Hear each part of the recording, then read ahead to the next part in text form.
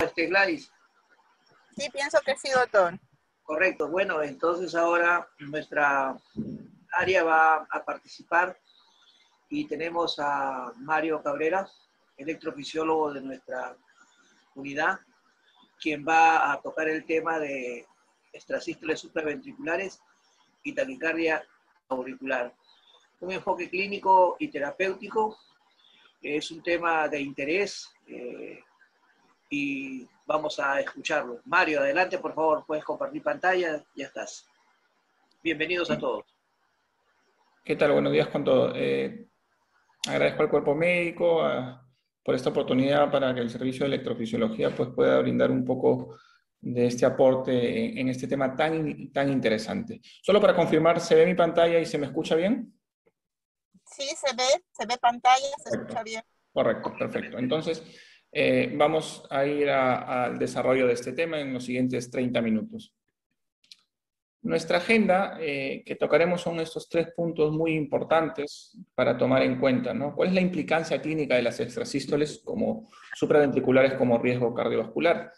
Sabemos que podemos encontrar muchas extrasístoles supraventriculares en diferentes estudios que podamos hacer, tipo electrocardiograma, Holter, de 24 a 48 horas o de larga duración, pero hay que ver qué riesgo cardiovascular o cómo nos enfrentamos a las extrasístoles supraventriculares. ¿Cómo hacemos el diagnóstico de taquicardia auricular de los diferentes tipos de taquicardia supraventricular que existen? Ya que a partir de ahí, el manejo que vamos a hacer va a ser muy diferente eh, a los demás tipos de taquicardia supraventricular. ¿Y qué tenemos a día de hoy sobre manejo ya definitivo de la taquicardia auricular, el manejo invasivo y algunos casos o aportes que tiene la institución que ha hecho sobre este tema, ¿no?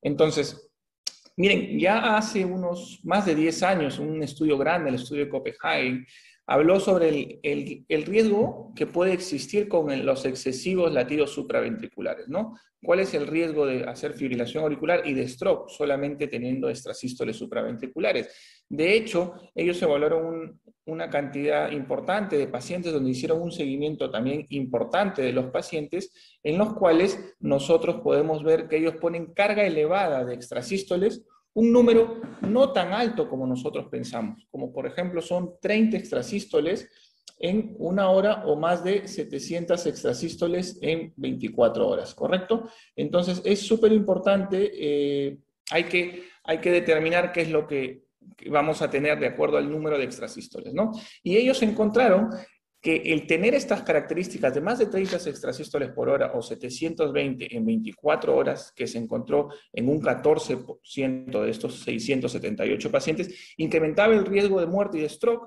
y, esto era debido a que había un incremento de hospitalizaciones por fibrilación auricular. Y podemos ver en estos cuadros de aquí que nosotros podemos determinar que eh, a mayor cantidad de extrasístoles ventriculares, que hablamos de supraventriculares, perdón, más de 30 por hora, se incrementaba el riesgo que podía tener el paciente de eventos tipo fibrilación auricular o hospitalizaciones. Y otro dato importante que se sacó de este estudio, que no solamente era la cantidad de extrasístoles aisladas que podemos, sino también el RAM que podamos tener o las rachas que podamos tener de latidos ectópicos supraventriculares. ¿Qué quiere decir? Que si nosotros teníamos una racha de más de 20 latidos, esta también implicaba un mayor riesgo de mayor incidencia de hospitalizaciones por fibrilación auricular y esto tenía incidencia con el riesgo de mortalidad o stroke. Entonces ya nos salen a la luz dos valores importantes, cantidad de extrasístoles, más de 720 en un día, y eh, rachas de taquicardia supraventricular de 20 latidos. Bien, entonces a partir de ahí comienzan a salir nuevos estudios. También este es el, eh, uno del 2013 que nos habla cuál es el riesgo de fibrilación auricular que nosotros podemos tener eh, teniendo extrasístoles supraventriculares. ¿no? Entonces este es un estudio cohorte en el que nosotros, eh, en el que se evaluó 1.260 pacientes sin diagnóstico de fibrilación auricular y en donde se encontró que las extrasístoles supraventriculares tenían un riesgo de FA en el 17% y también en mortalidad. ¿Qué quería decir esto? Que nosotros, teniendo puntos de corte importantes como este, eh, en este caso 32 por hora o 768, en 24 horas, tenía una especificidad para predecir fibrilación auricular en más del 90%. Entonces son datos bastante importantes que no podemos despasar desapercibidos. Nuevamente, ya ahora en el 2015, donde encuentran eh, eh, los latidos auriculares como riesgo de fibrilación auricular, también ellos evaluaron ya un valor un poco más, eh, más medio, por así decirlo, ¿no? De 500 extrasístoles supraventriculares en el día en el Holter. Y ellos vieron unos datos muy, muy importantes, que si yo en un Holter encuentro menos de 100 latidos ectópicos supraventriculares en 24 horas, la probabilidad que yo haga fibrilación auricular en el seguimiento los años es del 9%. Pero si yo en ese mismo holter o en el seguimiento encuentro que este paciente tiene un punto de 1500 o más extrasístoles supraventriculares en 24 horas, la probabilidad que este paciente haga eh, fibrilación auricular con el seguimiento es del 40%. Son datos muy, muy importantes porque no son tantas extrasístoles. Probablemente si nosotros nos ponemos a recordar cuando hacemos nuestros estudios de Holter y vemos cuánta cantidad de extrasístole tiene, es muy probable que nuestro paciente sí tenga esta cantidad de extrasístoles y la estamos pasando a desapercibir. Y a partir de ahí es que hacen algunos grados de recomendación, sobre todo con el holter. Si nosotros vamos a intentar hacer un holter para detectar fibrilación auricular, porque ese es nuestro objetivo, si nosotros encontramos que el paciente tiene menos de 500 eh, extrasístoles en 24 horas, digamos que es un riesgo intermedio, porque como habíamos dicho en, la diapositiva anterior que menos de 100 extrasístoles al día es un riesgo bajo, eh, bastaría con una o dos semanas de evaluación. Pero si mi paciente tiene más de 500 extrasístoles supraventriculares en un holter, nosotros tenemos la obligación en este paciente de ser mucho más eh, eh, incidentes en buscar este, la fibrilación auricular. Es por eso que necesitamos dos, tres, hasta cuatro semanas, inclusive holters de, larga duración para nosotros poder determinar si el paciente tiene fibrilación auricular. ¿Por qué? Porque habíamos dicho que a más extrasístoles supraventricular, mayor probabilidad de que el paciente tenga fibrilación auricular. Y ya nos ponen un límite de corte de 1000 en el año 2015. Vamos a ver más adelante. Ahora, ¿Qué pasa con aquellos pacientes que tienen extrasístoles eh, auriculares y algunas rachas de taquicardia supraventricular? Esto también es algo súper común que nosotros vemos cuando informamos un Holter. Entonces, miremos este cuadro súper interesante que nos habla de la presencia o no de actividad supraventricular excesiva o. ¿no? En, en rojo tenemos aquellos pacientes que tienen una actividad supraventricular excesiva, que por definición es más de 500 extrasístoles por 24 horas o más de 20 latidos seguidos de rachas de taquicardia supraventricular. Si a estos pacientes yo los eh, enmarco en recuerdo a su CHATS-VAS 0, 1, 2 y de 3 a 6, vemos que aquel paciente, aquel paciente que tiene una actividad supraventricular ectópica excesiva tiene mucho más riesgos de stroke sin tener diagnóstico de fibrilación auricular. Entonces, cuando se hace un análisis de este estudio publicado en el 2015, vemos que de los pacientes que tenían alta carga de extrasístoles y stroke, menos de un 15% tuvieron fibrilación auricular antes del stroke. ¿Qué quiere decir? Como ya más o menos a día de hoy sabemos que muchos episodios de los stroke no son cuando el paciente tiene un evento de fibrilación auricular, probablemente tenga que ver toda la cascada inflamatoria de un paciente con muchas comorbilidades o con este efecto eh, generador de trombos. ¿no? Y otra cosa importante, que cuando se evalúa a estos pacientes eh, el riesgo anual, eh, anual de stroke en pacientes con alta carga extrasístole, y se los puso en comparación con aquellos pacientes que ya tenían el diagnóstico de fibrilación auricular, aquellos que tenían un chat VAS de 2, el riesgo de de stroke al año era de 2.4 en aquellos pacientes con alta carga de extrasístoles eh, de actividad ectópica supraventricular. Quiere decir que daba lo mismo ser FA o tener alta carga de extrasístoles supraventricular con respecto al riesgo de stroke por año. Entonces es algo bastante importante. Entonces, eh, a partir de ahí nosotros podemos decir, entonces esto pasa en todos los pacientes. Se hizo de hecho un subanálisis de este estudio y se podría determinar que esto ocurre en pacientes mayores de 65 años. Todavía, eh, digamos, están algunos estudios viendo la relación directa de, que puede estar sucediendo esto, pero se ve que en aquellos pacientes que tienen una edad menor a 65 años, no hay mucha diferencia si tenemos mucha actividad ectópica supraventricular. Eso nos puede pasar en los jóvenes, en los deportistas o en otros tipos de, pacientes. Pero si ya tenemos un paciente más de 65 años con una actividad ectópica supraventricular incrementada, aquel paciente eh, sí hay una diferencia bastante significativa entre tener o no episodios de stroke. Ahora, esos son todos los estudios publicados hasta el 2016-17, ¿no? Entonces, ¿qué nos dicen las guías últimas? De hecho, tenemos una que es bastante buena, que fue publicada en Europace en 2019, en donde nos habla sobre el manejo de arritmias asintomáticas. Esto es súper importante porque acá nos hablan de las extrasístoles supra eh, auriculares, ventriculares, taquicardias atriales u otras taquicardias no sostenidas. Eh, nos ponen como el corazón, digamos, algunos grados de recomendación, verde cuando es más recomendable, amarillo medianamente recomendable y en rojo es no recomendable, ¿no? ¿Y qué nos ponen? Ya eh, las guías europeas ya nos ponen un límite. Recuerden que los artículos anteriores que les había mostrado, en un primero mostraron 30 extrasístoles por hora, 720 en 24 horas, otros 760, algunos ponían 1000, otros ponían 1500 más, más riesgo, ¿ok? Entonces ya esta guía nos aterriza un poco eh, esta recomendación y nosotros podemos decir que un paciente con alta carga de actividad ectópica supraventricular o extrasístole supraventricular es aquel paciente que tiene más de 500 extrasístoles en 24 horas en un monitor de Holter. Entonces, este paciente ya tiene riesgo de hacer fibrilación auricular. Y como habíamos mostrado en las diapositivas previas, aquel paciente que tiene más extrasístoles, ¿okay? tiene mucho más riesgo. De hecho, se vio que aquel paciente que tenía más de 1500 extrasístoles supraventriculares tiene hasta un 40% de riesgo de desarrollar fibrilación auricular. Bien, entonces esto es un número para tenerlo bastante en cuenta cuando hacemos los informes de Holter o cuando determinamos a qué paciente tengo que ser más insidioso en, en detectar fibrilación auricular.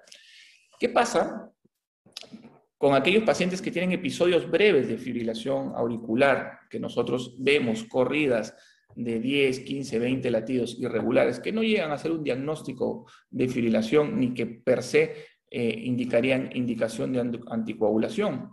¿Qué pasa con esos pacientes? De hecho, observar una carga en estos pacientes de más de 500 y sobre todo, como les había mencionado, esto se toman de los artículos ah, anteriores, que tengan rachas de taquicardia supraventricular más de 20 eh, continuas, eh, es un grupo en el cual yo tengo que individualizar si es que voy a iniciar o no anticoagulación. Pero ojo, a 2019 ya nos están dando ciertas luces en aquellos pacientes que antes probablemente no teníamos nada porque nos decían simplemente yo necesito hacer el diagnóstico de fibrilación auricular y necesito ver la tira de fibrilación auricular para yo poder decidir anticoagular o no a mi paciente. Pero hoy en día ya nos abren una ventana en el cual podemos individualizar la decisión para anticoagular o no y esto va en base a la cantidad de extrasístoles que yo pueda tener eh, supraventriculares en 24 horas o también los RAM de taquicardia supraventricular que podría encontrar y que muchas veces solamente las informamos como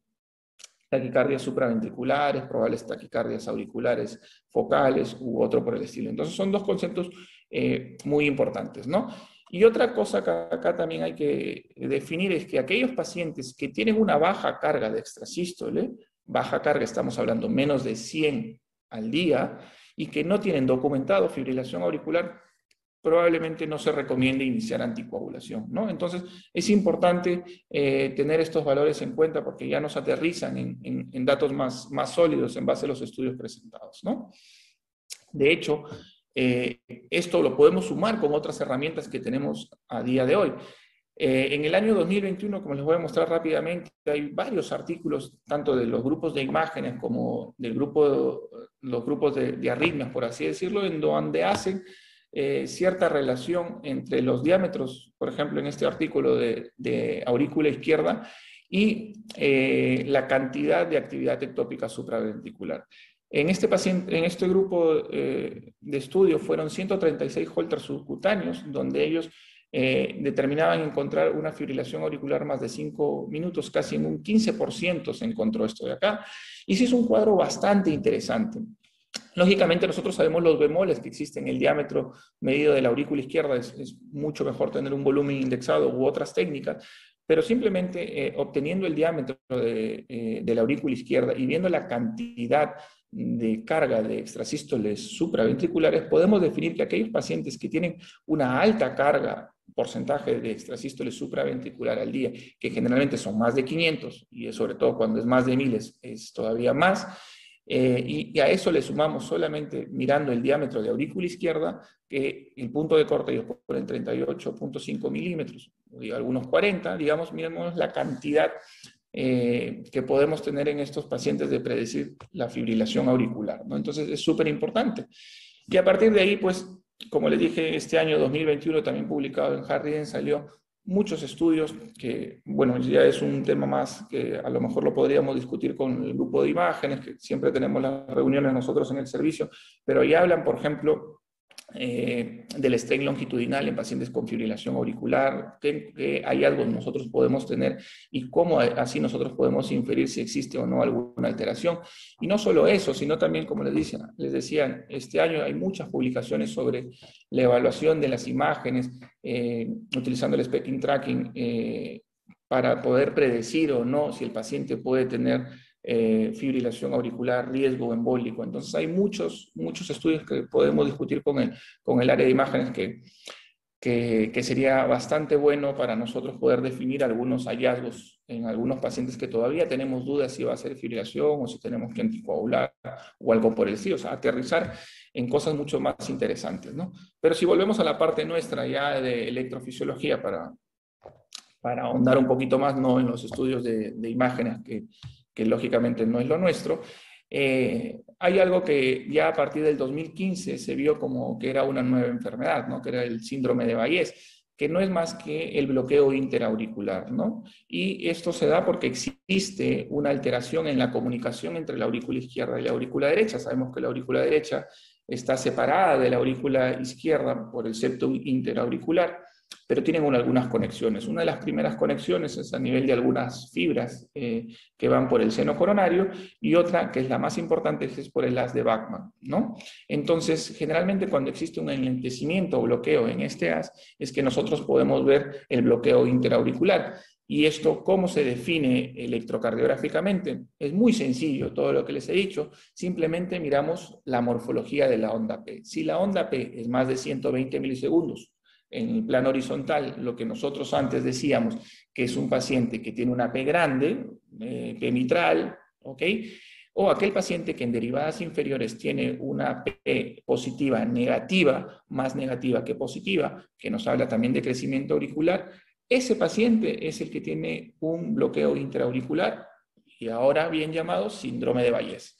Aquel paciente que tiene un bloqueo interauricular ya manifiesto tiene mayor riesgo de hacer fibrilación auricular. Entonces se ve que este es un dato muy importante que lo podemos obtener tanto como la cantidad de extrasístoles supraventriculares y ver el electrocardiograma y definir esos parámetros en la onda P para nosotros poder definir que este paciente puede tener riesgo de hacer fibrilación auricular. Esto ya está bastante definido, ya es una patología bastante nueva. De hecho, hay una editorial este año de, de Bramwell que escribe que fue como que la última enfermedad que va a describir o que va a escribir, ¿no? Es un tema súper interesante que hoy en día eh, se está tomando bastante en cuenta, ¿no?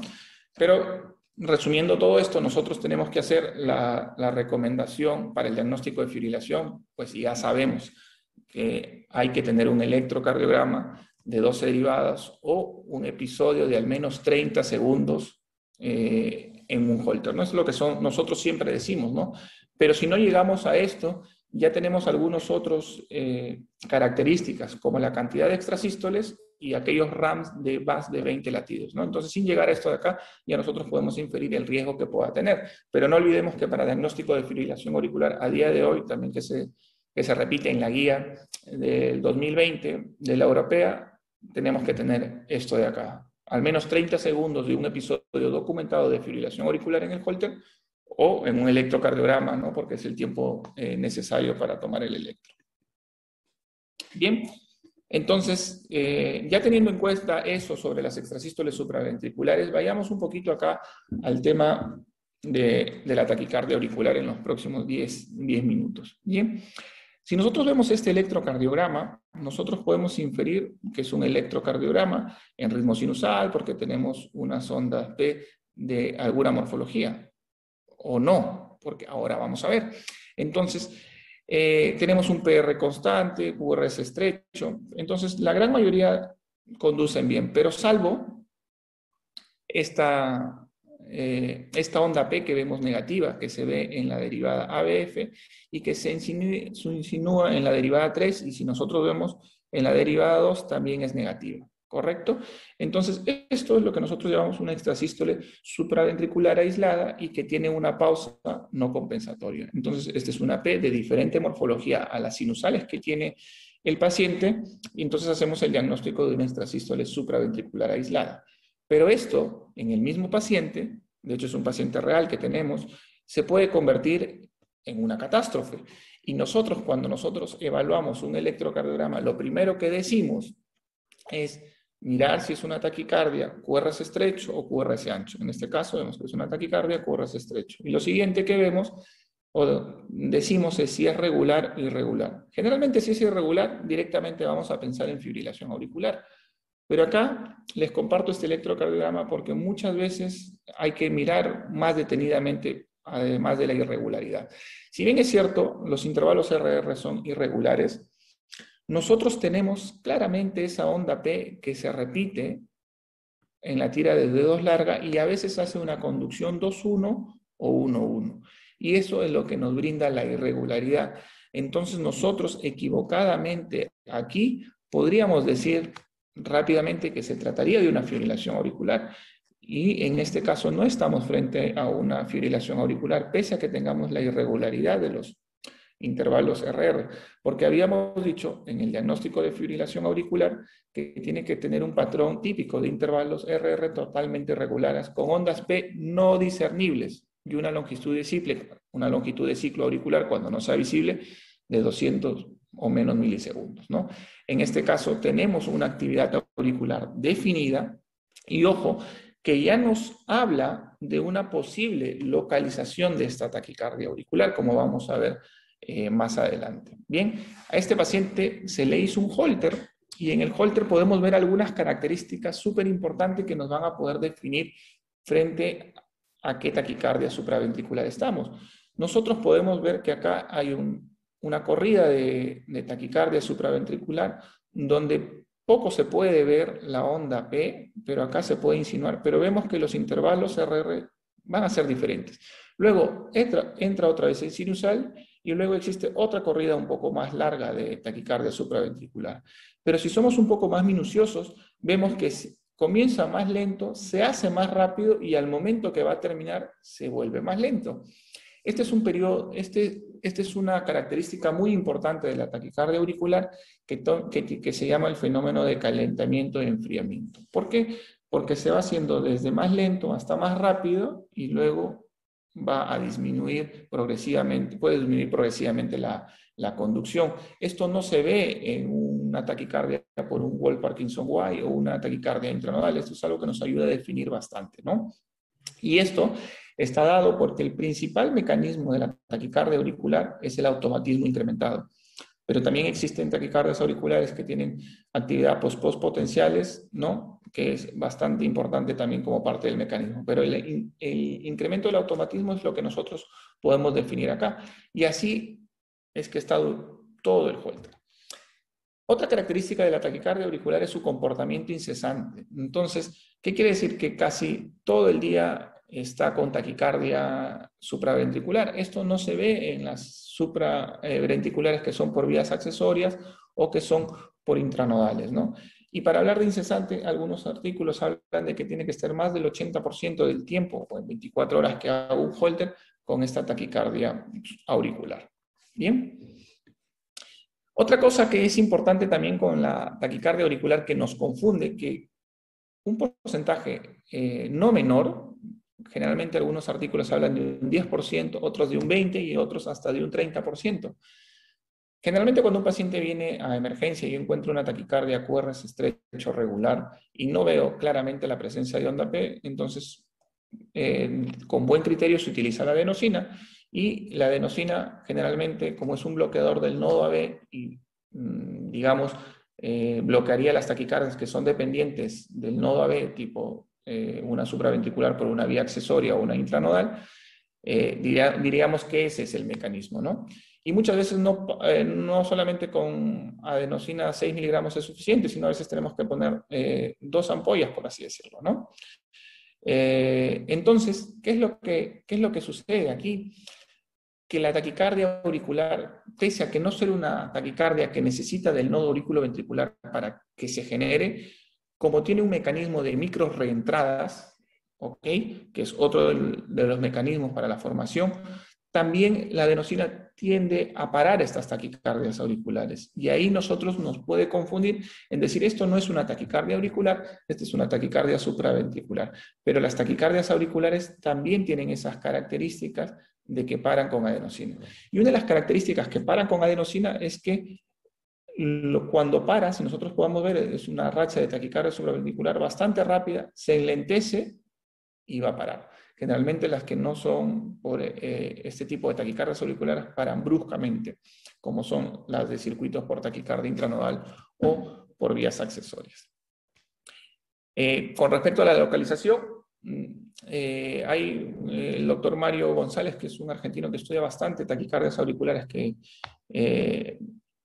que nos muestra un paper bastante importante. De hecho, si nosotros revisamos las literaturas, nos hablan de que el 70% de las taquicardias auriculares son derechas, pero ya nuevos estudios nos hablan que es 50-50. ¿Qué quiere decir?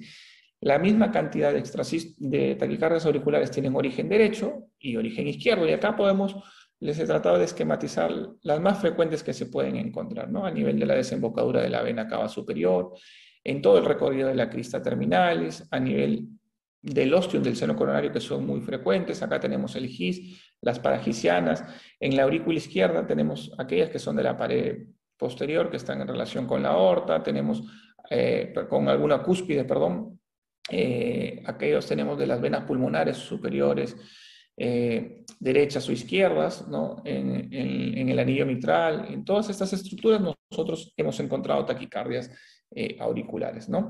Y para esto nosotros también vemos algunas taquicardias que antes no eran tan frecuentes, pero ahora con los sistemas de navegación podemos ver que son muy, muy cercanas al sistema normal de conducción al GIS. Entonces, eh, no siempre hay que pensar en taquicardias derechas y hay que tener en cuenta que puede ser un 50% del origen.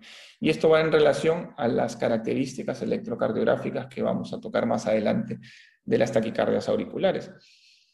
Eh, otro punto importante aquí es, eh, como les había mencionado antes, el comportamiento que existe de, estas taquicardias auriculares que las diferencia muchas veces de aquellas taquicardias por vías accesorias o aquellas taquicardias intranodales que nosotros vemos en la emergencia, que el paciente solamente tiene una crisis cada mes, cada dos meses o cada tres meses estas taquicardias eh, auriculares tienen un comportamiento, algunas que son incesantes, como habíamos dicho, más del 80% del tiempo que pueden estar en taquicardia. Y ya nos dan algunos datos para pensar en, en taquimiocardiopatía, ¿no? que es algo bastante importante que tenemos que tener en cuenta porque eso es lo que, como vamos a ver más adelante, nos da la indicación para ablación o no, no. De hecho, se tiene que descartar cualquier otra causa de cardiomiopatía un dato importante que nosotros tenemos que ver que generalmente los pacientes que hacen taquimiocardiopatía, en este caso por taquicardia auricular, son pacientes que no tienen mucha dilatación del ventrículo izquierdo.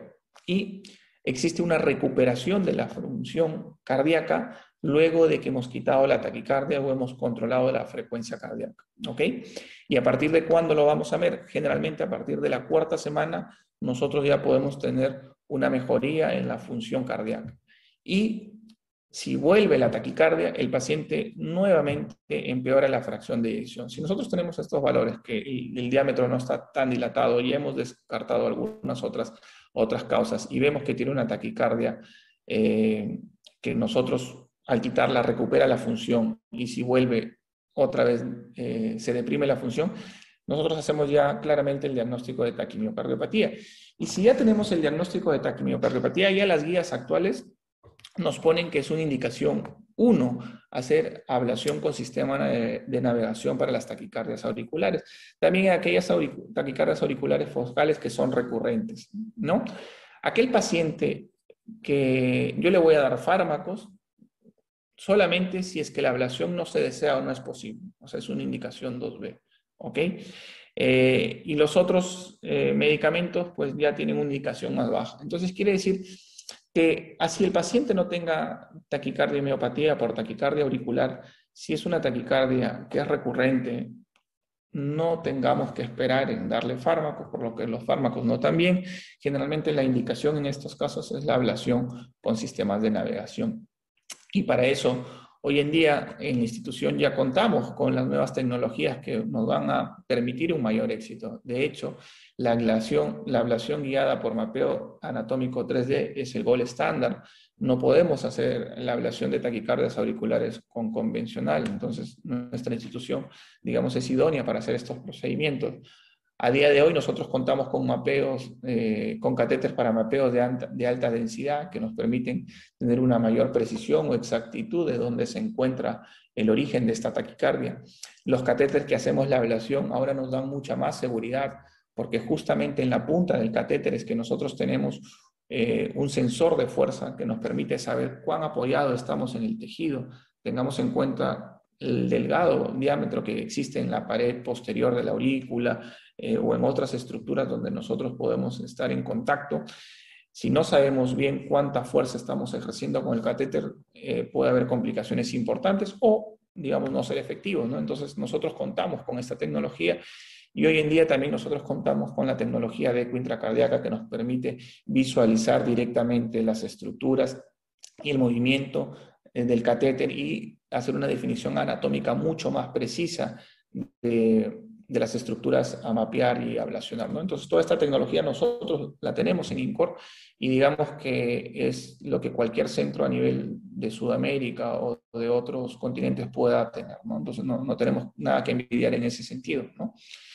Y, y, esto ha permitido que, las, que la, la, efectividad de la ablación de las taquicardias auriculares eh, mejore bastante. ¿no? Antes era un 70, 75% con con no tener esta tecnología. Y de hecho estamos hablando de Pedro Brugada, del doctor Anguera, de gente muy, mm, muy reconocida a nivel mundial, ¿no? que ya cuando publican esto en el año 2000 dicen pues tienen esta tasa de efectividad, pero ya hoy en día la tasa de efectividad es del 95 al 100%, ¿no? Y nosotros en la institución, con los sistemas de navegación 3D y con la tecnología que tenemos, tenemos unas tasas de éxito similares a estos grupos, ¿no? Eh, ya para terminar, le voy a mostrar eh, algunos casos clínicos que nosotros hacemos en INCOR. Ah, también acá agradecer al, al servicio de imágenes que nos, que nos, apoya con las tomografías, eh, con las reconstrucciones tridimensionales. ¿no? Nosotros acá podemos ver una vista tridimensional de la aurícula izquierda, de la orejuela, vemos las venas pulmonares. es importante para nosotros determinar si las venas pulmonares llegan a la aurícula izquierda un tronco común o existe alguna alteración o algo por el estilo. Esto nosotros, esta imagen nosotros la podemos integrar en los sistemas de navegación y nos permite, previo al procedimiento, poder planear eh, por qué estructuras navegar y, qué cosas tener en cuenta, ¿no? Cuán pegado está la orejuela, dónde está el reach, la carina y cosas por el estilo, ¿no? Y es que así nosotros nos vamos a, a tener esta tecnología. ¿no? De esto es este es lo que les he mostrado, un catéter con fuerza de contacto, que nosotros podemos ver acá el gramaje, o sea, la cantidad de fuerza que aplicamos en el tejido, que generalmente tiene que ir entre 5 a, 30 para hacer la ablación. Y aparte de eso tenemos estos, estos nuevos sistemas que los puntos ahora los pone de forma automática. ¿Qué quiere decir? Que estos puntitos rojos nosotros antes le dábamos como que a lo que nos parecía. Pero hoy en día ya tenemos una tecnología que se llama el Shoot Point, que nos permite definir eh, cuándo es efectivo un punto de ablación y esto se hace de forma automatizada. Por ejemplo, en este caso es cuando llega a este valor de 550 milisegundos, automáticamente el sistema, cuando nosotros mm, ya se acerca a este valor, va a poner un color rojo al punto que nosotros habíamos dado previamente. ¿no? Entonces, eh, y esta tecnología nos permite hacer eso de ahí. Y también nos permite integrar estos sistemas de navegación no solo la aurícula izquierda, sino también la aurícula derecha. y así nosotros poder hacer procedimientos mixtos cuando podemos hacer un procedimiento de una ablación de fibrilación auricular, podemos hacer líneas de ablación de flúter en el mismo procedimiento y con una precisión bastante, bastante buena. Entonces, acá les voy a presentar dos últimos casos para ya ir terminando. Eh, un paciente de 20 años con taquicardia incesante. Le habían dado todos los fármacos que nos podamos imaginar en todas las combinaciones. Y si nosotros somos un poquito acuciosos acá en el electrocardiograma, pues sí vemos una racha de taquicardia supra un latido sinusal y otra vez entra en una taquicardia supraventricular. Es un poco difícil definir la morfología de la onda P, pero si somos un poquito acuciosos podemos ver que en la ABL es negativo y en 1 es negativo. Y también algo negativo en B6 y plana en B1. Entonces, estas características nos hacen pensar que esta taquicardia auricular viene del lado izquierdo. Y al ser negativo en 1 y en ABL probablemente sea de lo más izquierdo posible. No sabemos con precisión eh, qué estructura, pero digamos que es un paciente que ya nos permite planear el procedimiento con abordaje transeptal para poder llegar hacia la aurícula izquierda. ¿no? Entonces, hacemos eh, el abordaje transeptal en este paciente. De hecho, evaluamos toda la aurícula derecha, no encontramos nada de precocidad. Nosotros precocidad por el color decimos lo rojo, es un catéter que ponemos en el seno coronario y si nosotros somos un poquito acá acuciosos, estos son los electrogramas que vemos. Esto es la taquicardia del, que se ve en el seno coronario y este es el catéter de ablación, la punta del catéter de ablación y vemos que este electrograma va mucho más antes que cualquiera de las otras estructuras. Y si vemos el, unipolar que nosotros utilizamos bastante, vemos la ausencia de onda R, o sea, solamente onda Q. Quiere decir que esto sería el origen de la taquicardia, ¿no? Vemos por el color, por electrogramas, y esta es una estructura, esta es la vena pulmonar superior izquierda, la vena pulmonar inferior izquierda, este es el RICH, acá está la, eh, la orejuela izquierda, y en esta zona es que nosotros encontramos el punto de activación más precoz. ¿Qué quiere decir? En este mapa de propagación que nosotros podemos ver, es aquí el inicio de la taquicardia por el cual se desprende todas las ondas de la taquicardia auricular hacia el resto de la aurícula izquierda y va hacia la aurícula derecha. ¿no? Entonces nosotros, al poder determinar este punto exacto, haciendo solamente dos aplicaciones, el paciente que estaba así antes del procedimiento, a día de hoy está así, sin fármacos y en todos sus controles que tenemos. ¿no? Entonces, estos son los beneficios que nosotros podemos encontrar en nuestros pacientes. ¿no? Eh, y este último caso también es un caso bastante interesante porque es el electro que les había presentado en un primer momento, que a veces lo pueden confundir con fibrilación auricular. Vemos claramente la morfología de las ondas P, si nosotros vemos derivadas inferiores, vemos que es negativa en 2, en 3, en ABF, y esto ya nos habla de estructuras inferiores, ¿no? Y si somos también un poquito más acuciosos, en B1 vemos una onda P positiva, pero es una P positiva bastante angosta. Generalmente estas son las que están pegadas al septum, pero al ser positiva en B1 tiene que venir de una estructura posterior. Hablemos del ostium del seno coronario. No pensamos en venas pulmonares, porque eh, la, inferior derecha, porque generalmente las P son más anchas, es más caótica la, activación auricular en esa zona. Entonces, por este algoritmo nosotros podemos decir que la taquicardia de nuestro paciente, en este gráfico que les muestro, podría estar en esta zona de acá, ¿no? Entonces, ¿qué implicancia nos da saber que viene de esta zona de acá? Que a este paciente lo vamos a programar para ablación con sistema de navegación, pero ya no vamos a utilizar una eco transesofágica, ya no vamos a hacer punción transeptal, ya no vamos a usar anestesia general. Entonces, simplemente con la información que yo tengo del electrocardiograma ya puedo inferir hacia dónde voy a ir.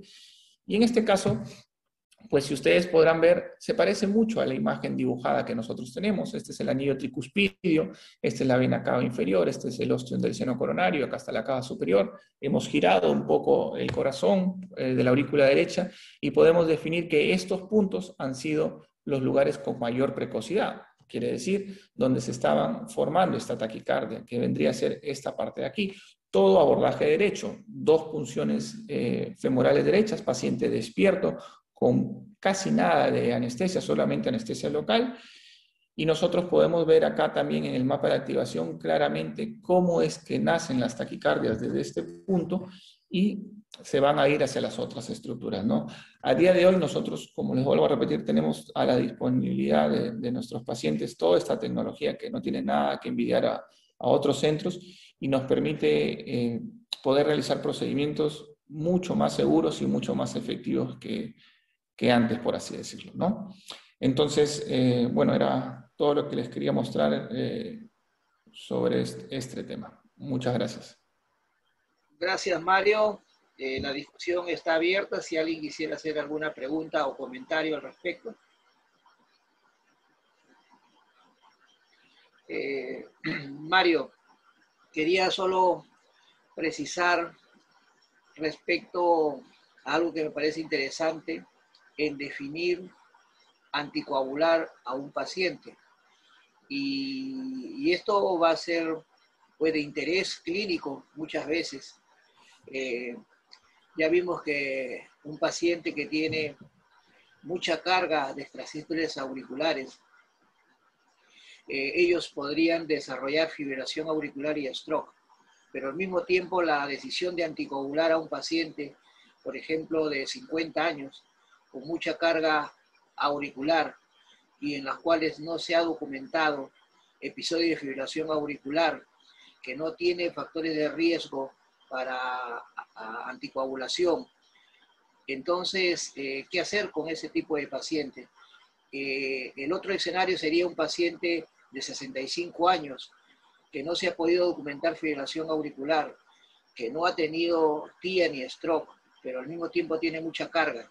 Y el otro escenario sería un paciente menor de 65 años con factores de riesgo para stroke, con mucha carga auricular. Y el otro escenario sería un paciente con 65 años, hipertenso, con mucha carga auricular y que no se ha documentado FA. Y el otro escenario sería un paciente en los cuales sí ha tenido un TIA y tiene mucha carga auricular. Entonces yo creo que son los escenarios que muchos, eh, muchas veces nos enfrentamos y sobre todo los cardiólogos clínicos. Eh, quisiera que pudieras ahondar a este respecto. Mm, gracias eh, por la pregunta. Es una pregunta muy interesante y, es el día a día a veces que vivimos, ¿no? Eh, como usted dice, si nos ceñimos a, las guías clínicas, tenemos que tener el diagnóstico de fibrilación auricular con los datos que hemos dicho para iniciar anticoagulación. Pero ojo, ya los consensos a partir del 2019 ya nos abren esa ventana de que existe un grupo de pacientes al cual individualizadamente podemos anticoagular sin necesidad de tener fibrilación auricular.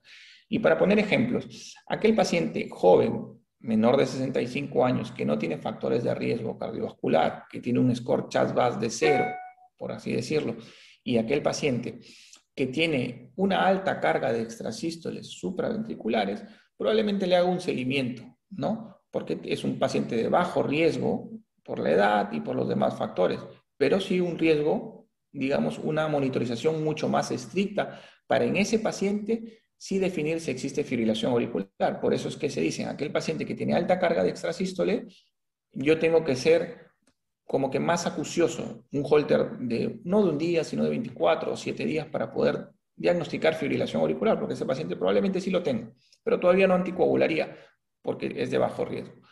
Aquel paciente que es más de 65 años tiene alto riesgo, alto riesgo de stroke por el CHAS-VAS, y yo veo que es un paciente que tiene alta carga de extrasístole, hablando, por ejemplo, más de mil al día o rachas no sostenidas de taquicardia auricular, más de 20 latidos, ese paciente, si yo veo que tiene un score de sangrado bajo con un Hasbled bajo, probablemente individualizando el caso, conversando con el paciente y viendo riesgos y beneficios, sí se podría anticoagular. O sea, no podríamos, no tendríamos que esperar tener fibrilación auricular porque ya tenemos el aval para poder hacerlo, ¿no? Entonces, esos dos escenarios creo que están marcados. Aquel paciente que ya ha tenido un ictus y no le encuentro fibrilación auricular, independientemente de la edad, porque ya el hecho de tener un ictus ya es un paciente que lo pone de alto riesgo eh, a futuro, yo con alta carga de extrasístole en 24 horas, más de 500, suficiente para yo tener información necesaria para ese paciente anticoagular, ¿no?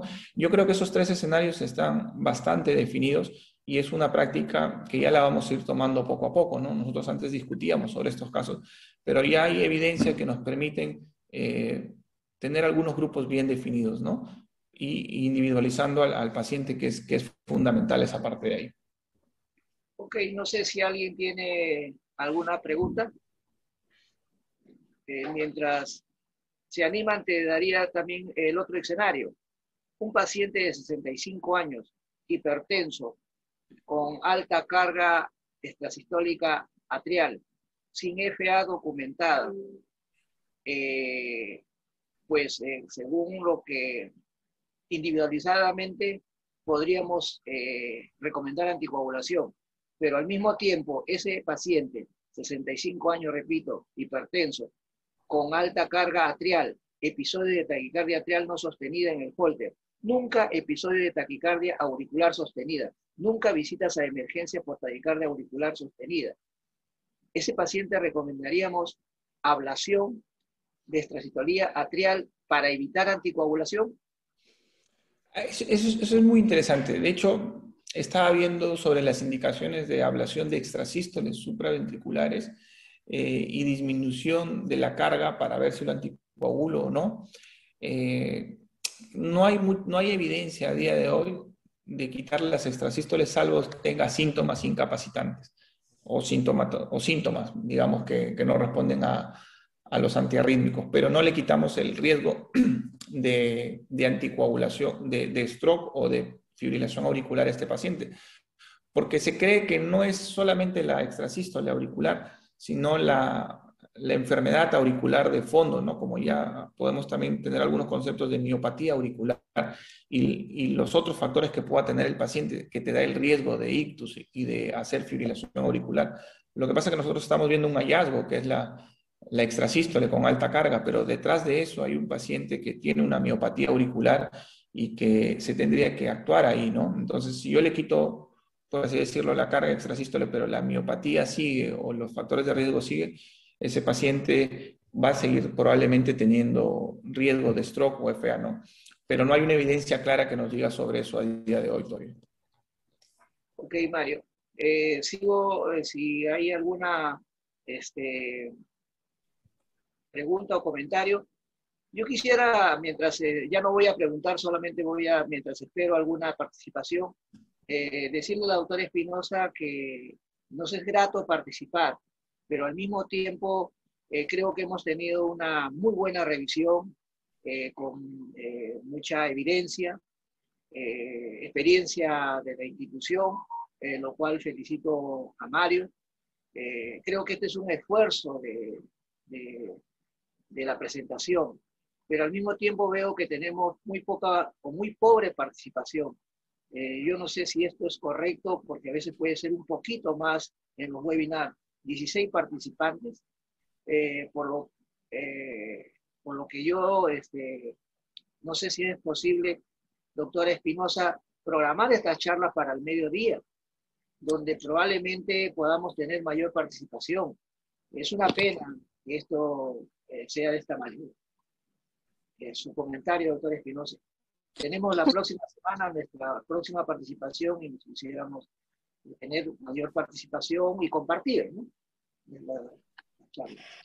Eh, eh, primero realmente felicitar al doctor Mario Cabrera, que ha hecho como una excelente presentación, muy didáctico, muy claro, ¿no? Y lo segundo, doctor, eh, déjeme ver qué estrategias se pueden utilizar para aumentar la presentación. No estoy segura si cambiando el horario puede ser lo más adecuado porque usted sabe que la gente a veces está en diversas actividades. Más bien yo pensé que poniendo un horario antes del inicio de todas las actividades podría llevarnos a una mayor presentación, pero lo vamos a considerar y voy a ver qué estrategias se pueden implementar para tener una mayor eh, participación en realidad de los médicos, porque como dice usted, es una, son revisiones muy buenas y nos ayudan a homogenizar incluso criterios, conductas, ¿no? Es un aprendizaje en verdad continuo de, de las diferentes subespecialidades. Yo más bien quería aprovechar ahora para hacerle una pregunta al doctor Mario Cabrera. Si en estos pacientes con stroke para él era importante la opinión del neurólogo en cuanto a definir si ese stroke es embólico o no embólico, o ya estamos asumiendo que en todos esos casos ha, habido, ha sido considerado como un stroke de causa embólica. Ya, eh, importante, importante pregunta, doctora. Eh, mm, como, le había mencionado, nosotros al tener una carga de extrasístole alta, digamos en un escenario que no hay FA, ¿no? porque estamos buscando el diagnóstico, al tener una carga de extrasístole alta, eh, podría ser muy apresurado decir que por las extrasístoles va a tener el stroke. ¿no? La evidencia nos está dando un poco de luces a que puede ser que vaya para ahí. Es por eso que mostré rápidamente algunos artículos de, imágenes que no, no, quise ahondar porque no, no, es mi tema. Pero hoy en día, a, al 2021, hay muchas publicaciones súper interesantes que me las puse a revisar en el cómo hacen eh, las imágenes, tanto el strain auricular, el spectrum track, o morfologías de aurículas o de orejuelas, o el uso de la resonancia u otras cosas a nivel, a nivel auricular, que van a tener una mayor predicción de que el paciente tenga riesgo de stroke o FA. Y si eso le sumamos a las características eléctricas del paciente, como por ejemplo viendo un electrocardiograma para ver si tiene bloqueo interauricular como síndrome de Bayes, o viendo una cantidad de extrasístoles altas, y ya viendo esas alteraciones eh, ecocardiográficas que, se pueden ver hoy en día, yo creo que sí hay sustento necesario como para decir que ese paciente sí tiene un origen eh, cardíaco con bastante eh, asidero. Así yo no tenga FA, probablemente me, demore un poquito en encontrar, pero no tendría que encontrar este, la FA para tomar eh, anticoagulantes en este paciente. ¿no?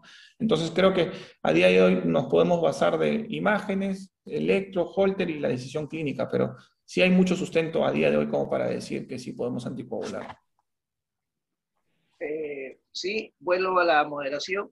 Este, sigo esperando, pero doctora, pienso esto también en cuanto a, a nuestras actividades académicas. Creo que somos una institución con infraestructura, con experiencia y liderazgo eh, cardiovascular a nivel nacional. Eh, creo que esto lo podemos abrir, doctora, y hacerlo más grande.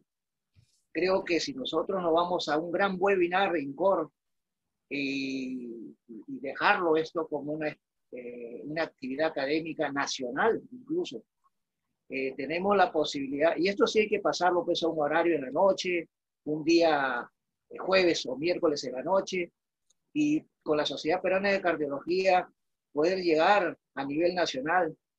Y yo en esto, eh, este, este periodo, estoy ya terminando la Secretaría de Filiales y tengo la posibilidad de hacer llegar información, invitación a nivel nacional a todos los cardiólogos. Eh, yo creo que esto eh, puede ser una cosa que nos permita hacer grande estas reuniones académicas. Considero dentro del cuerpo médico porque pensemos quizás en cosas eh, más grandes para nuestra institución desde el punto de vista de la difusión de nuestra experiencia. Lo hace la Mayo Clinic, lo hacen muchas instituciones a nivel internacional eh, que hacen sus ponencias de manera internacional. Nosotros queremos hacerlo por lo menos regional, nacional. tómelo en cuenta y, cuente con el apoyo por lo menos de la Sociedad Peruana de Cardiología. No sé qué comentario tienes, Gladys. Sí, gracias, doctor Segarra, realmente por los aportes. Voy a estar en comunicación con usted para ver los modos de mejorar, de ampliar, ¿no? Porque todo aporte es, este, es bueno, es positivo. Y más bien, este, volver a mencionar que estas charlas están siendo colgadas en la página del cuerpo médico y realmente cualquier miembro del cuerpo médico puede revisar en un otro horario que no es este, exactamente la hora de la presentación, ¿no? Estamos en, coordinación, doctor Segarra, para, para tomar sus, sus, ideas y ver cómo podemos mejorar y ampliar. Ok, bueno, yo creo de que ya eh, ha sido productiva, por lo menos lo que hemos podido participar. Vuelvo a felicitar a Mario, eh, muy buena presentación. Y bueno, buenos días a todos. Buenos días, muchas gracias. Eh, agradezco la participación del doctor Segarra, del doctor Mario Cabrera. Hasta la próxima semana. Buen día para todos. Gracias.